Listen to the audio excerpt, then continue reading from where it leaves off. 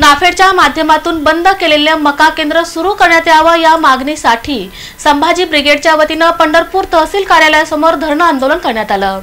सन दोन हजार पंधरा सोळामध्ये मोठा दुष्काळ पडला होता. शासनाच्या वतीनं दुष्काळ मदत जाहीर करून दीड वर्ष झाली तरी अजून मदत शेतकऱ्यांना मिळालेली नाही. ती त्वरित मिळावी तसंच शासनानं हमीभाव योजनेअंतर्गत नाफेडच्या माध्यमातून बंद केलेलं मका केंद्र सुरू करावं या मागणीसाठी पंढरपूर तहसील कार्यालयासमोर संभाजी ब्रिगेडच्या वतीनं एक दिवसीय लाक्षणिक उपोषण करण्यात आलं. शासनानं मका खरेदी केंद्र सुरू करावं आणि नोंदणी केलेल्या शेतकऱ्यांचा मका खरेदी करावा.